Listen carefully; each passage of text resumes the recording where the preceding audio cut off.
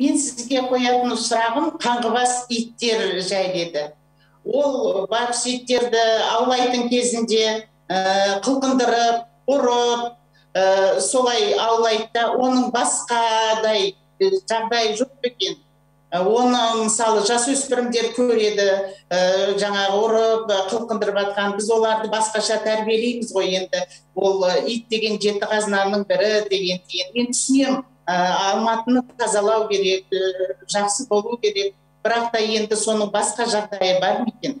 Басқалай аулауға болар ма екен? Бұл сұрақ бойынша жаңағы осы жануарларға иттер болсын болмаса сол мысықтар болсын қорғау мәселесі басқа жағдай жасау мәселесі бойынша қазір арнайы заңға өзгерістер жасалып жатыр.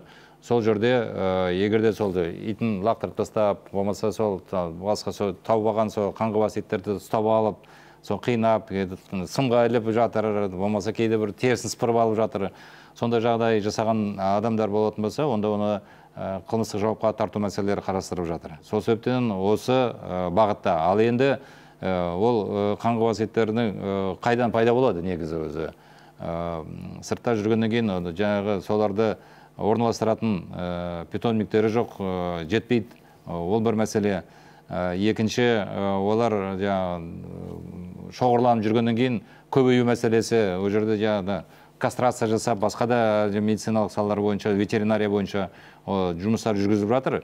Негізі күрделі мәселе. Жұмыс жасалынып жатыр бұл бағытта.